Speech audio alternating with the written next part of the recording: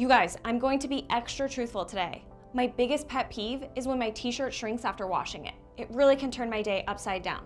But why does this happen? Let's get into it.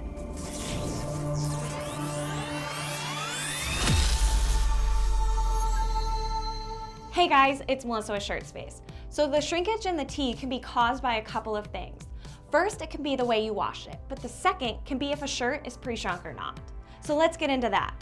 What does pre-shrunk actually mean? The term pre-shrunk mostly speaks for itself, but there are a few factors to be aware of. So I took notes to make sure I get this right. Pre-shrunk doesn't necessarily mean that the t-shirt manufacturer washes every single garment. Instead, it refers to the garment being put through a machine that pushes or compacts the fibers tightly together. This process condenses the fabric by removing the spaces in between the stitches as a way of replicating the shrinking process. In doing this, the garment has been pre-shrunk and will shrink less when being put through the traditional washing and drying process.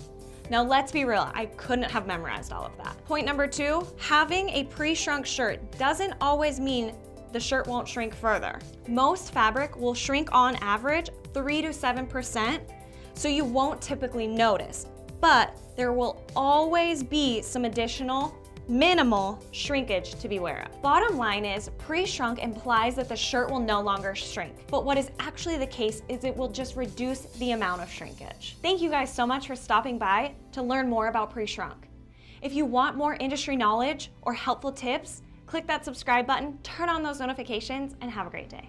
Do you guys know that we often run flash sales? Do you know the best way to find out about these? Sign up for our email list and follow us on social media. We could totally be having one right now and you have no idea because you're not following us.